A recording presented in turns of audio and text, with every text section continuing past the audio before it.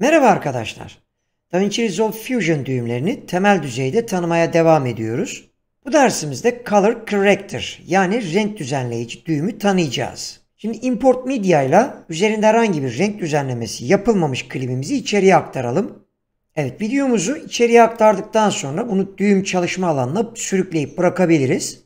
Evet şimdi Color Corrector'ı ekleyelim. Media in seçiliyken ayrıca kontrol ve boşluğa basarak da ekleyebiliriz. Color arattığımız zaman hemen çıkacaktır. Kısa yolu da CC'dir. CC yazdığımız zaman hemen çıkacaktır.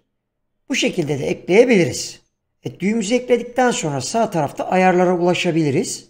DaVinci Resolve'da renk düzenlemeleri genellikle Color bölümünde yapılır.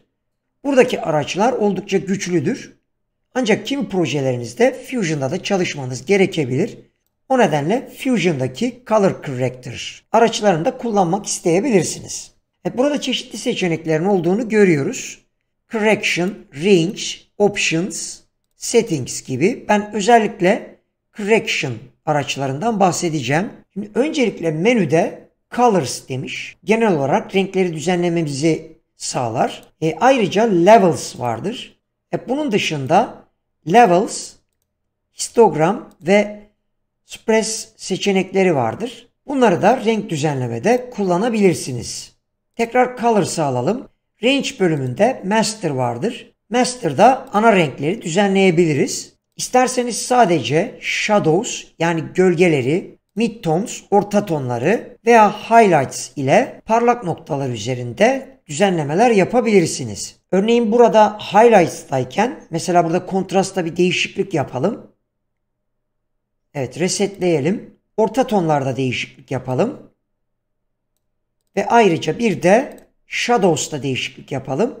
Dikkat ederseniz her bir bölümde değişiklikler farklı bir şekilde yapılmaktadır. Kontrastı tekrardan kontrast üzerine çift tıklayarak resetleyebiliriz. E şimdi Range'i Master'a alalım. Evet alt bölümde bir renk tekerleğimiz vardır renk tekerleğini kullanarak renk tonlarında genel bir değişiklik yapmak isteyebilirsiniz. Bunun ortasındaki noktaya tıklayalım. Sürükleyelim. Bakın genel olarak renk tonlarında değişiklik yapabilirsiniz. Yukarıda reset düğmesine tıkladığınız zaman işlemi resetleyecektir. İsterseniz alt taraftaki kutucuklardan da değerleri değiştirebilirsiniz. Hue değerini örneğin değiştirdiğimizde aşağıda ki hue değeri de değişmektedir. Ayrıca doygunluğu, renk tonunu ve gücünü de değiştirebilirsiniz.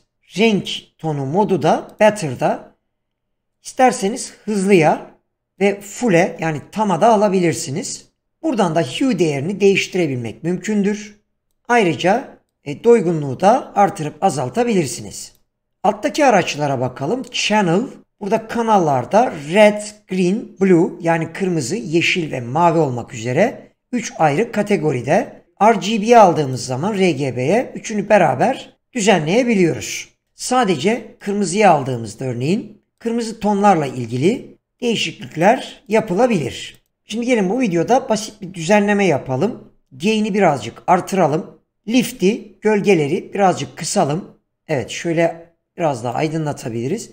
İsterseniz kontrastta da gölgeleri bir miktar belirgin hale getirebiliriz. Gama orta tonlardır. Orta tonlarda da çeşitli değişiklikler yapabilirsiniz.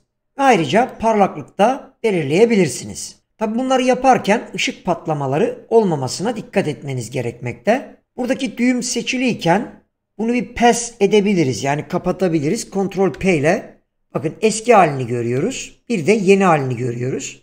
Yeni halinde bazı kayıplar olmuş dikkat ederseniz burada. Bunları iyice dengelememiz gerekiyor. Evet tekrardan resetleyelim. Ve burada renk düzenlemesini buna uygun bir şekilde yapabiliriz. E şu anda böyle bir değişiklik yaptım. Arkadaki verileri de korumuş olduk. Bir miktar örneğin renk doygunluğunu da artırabiliriz. Şimdi şöyle bir kapatalım. Aradaki farkı görelim. Evet gayet güzel bir düzenleme yaptık. Evet ayrıca menüden Diğer değerleri de seçerek çeşitli düzenlemeler yapabilirsiniz. Örneğin seviyelerde düzenlemeler yapabilirsiniz.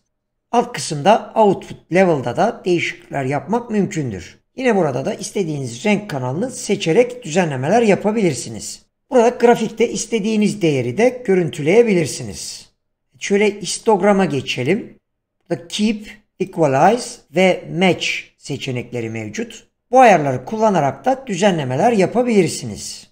Son olarak şöyle bir Suppress'e bakalım. Evet bu araçta da dışarıdaki daireleri iç kısma çekerek çeşitli değişiklikler yapabilirsiniz.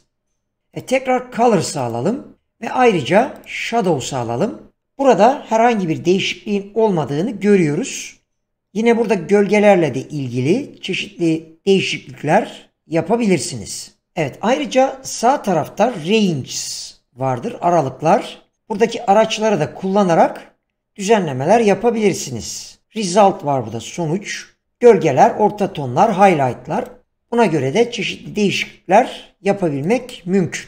Kanalda da Luminance'dan e, Red, Green, Blue ve Alpha'yı da ayrıca seçebilmeniz mümkündür. Evet arkadaşlar böylece dersimizin sonuna geldik. Sonraki Fusion düğümler dersinde görüşmek dileğiyle kendinize iyi bakın, sağlıklı kalın.